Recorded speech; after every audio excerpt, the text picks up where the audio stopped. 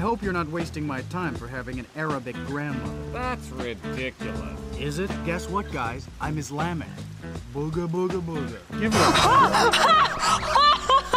what the hell? That's got to be racist. There's no way